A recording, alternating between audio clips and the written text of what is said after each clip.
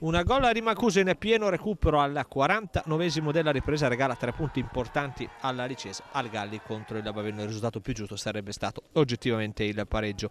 Un primo tempo in cui la squadra ospite era partita meglio all'undicesimo, aveva trovato il vantaggio a coronamento di una splendida azione corale. Infatti Mancuso dopo il velo di eh, un compagno aveva battuto per il vantaggio della Licese al sedicesimo proteste del Baveno per un presunto tocco di mano sul tiro di Salzano.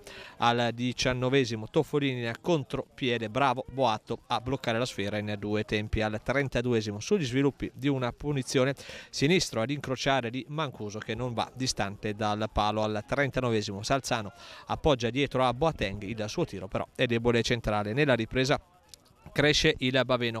Al decimo cross dalla destra di Scocimaro Cerutti si gira ma Cerruti copre lo specchio della porta ed evita il pareggio al diciannovesimo spunto di Ramaglio, palla arretrata per Salzano che però calcia alle stelle da ottima posizione. Al trentesimo l'ex della Romettense Cerano troverebbe il gol del pareggio, il direttore di gara però annulla per una spinta presunta nei confronti di Ramundo, le proteste però durano poco perché un minuto dopo c'è un calcio di rigore netto per il Baveno, fallo su Lavelli, dal dischetto si presenta Salzano che spiazza Cerruti per il gol dell'1 a 1. Il Baveno prova a vincere la partita, ci sono anche un paio di situazioni interessanti con protagonista Salzano, nel finale però la squadra di Pissardo si sbilancia e al 49 viene trafitta da Mancuso che salta netto Boato e deposita in rete il gol dei tre punti della Licese.